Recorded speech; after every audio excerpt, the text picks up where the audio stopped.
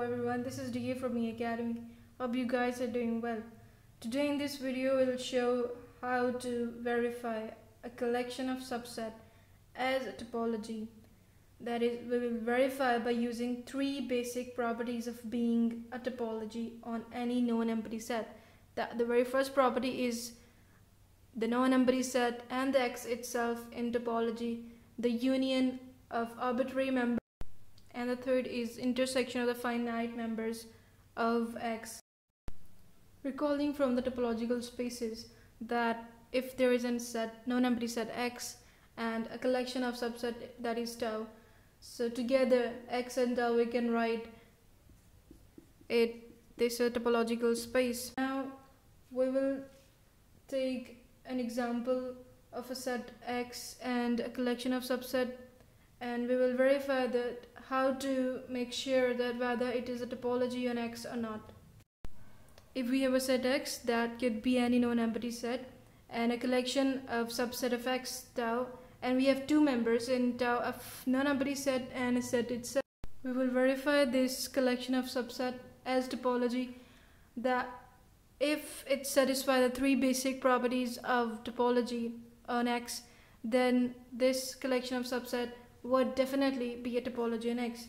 So let's start verifying that. The very first property is that phi, the empty set, or the set itself in the collection of subset of X. So we clearly see that that empty set is a member of the collection. The empty set is a member in this case. It belongs to a collection of subset that is tau and also x belong to that collection of subset. So the first condition of empty set and the set itself is verified now. So we have to verify the other two properties of of forming a topology in X.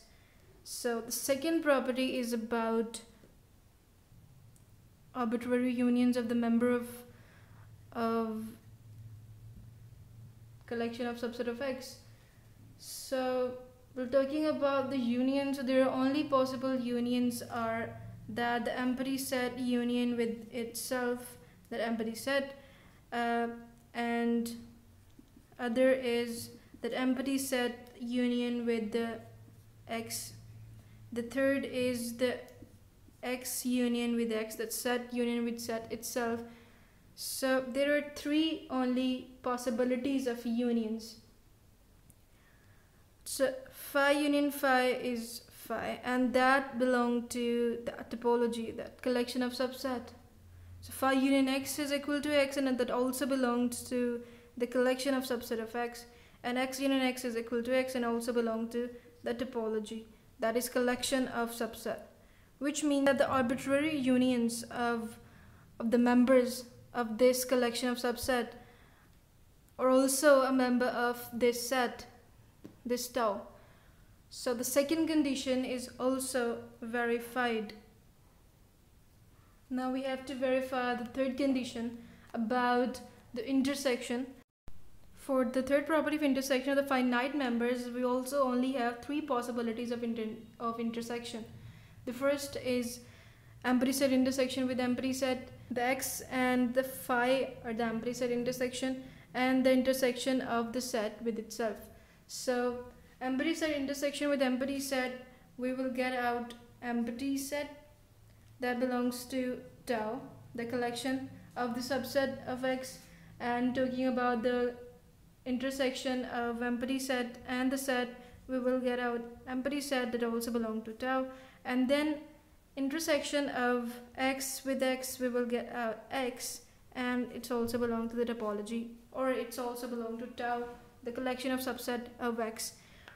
So this verifies the all basic three conditions the first about empty set and the x the second about union and the third about the intersection which means that this collection of subset is eventually from a topology on x. And the, because this is a very important topology it is uh, indiscrete topology we will verify any collection of subset by using the basic three properties of topologies to check whether it is a topology or not. So in the next video we will talk about the union of topologies and we will see whether union of topology is also a topology on X or not. So stay tuned. Goodbye.